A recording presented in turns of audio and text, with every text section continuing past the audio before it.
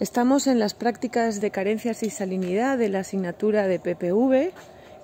Como veis, va muy bien, se ven las diferencias y tienen algún pequeño problema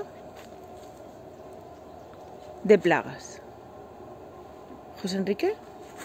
¿Qué tal? Hola, estamos en otro de los invernaderos de la Escuela de Ingeniería Agronómica de la Universidad de Sevilla.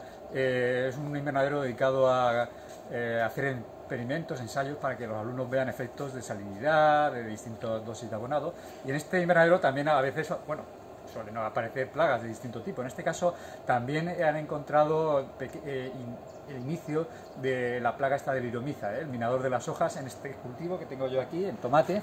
Aunque está muy inicial, se ven aquí algunas galerías, aunque algunas ya están vacías, pero se ven picaduras de alimentación y bueno, vamos a hacer una suelta bastante preventiva, porque el nivel de plaga es bastante bajo, pero bueno, para prevenir futuros daños eh, vamos a hacer la suelta, porque claro, ya tenemos aquí el, producto que nos han enviado y entonces, bueno, pues hay que soltarlo. No, este, estos insectos no pueden almacenarse más de 24 horas a temperatura fría, entonces los recibimos ayer y hay que utilizarlos. Vamos a hacer la suelta entonces en estas plantas de tomate y se hace, pues bueno, como siempre. ¿eh? Podemos ver aquí los adultos ¿eh? como están saliendo ya, eh, adultos de Diglyphus isaiah, y bueno, ellos mismos están saliendo.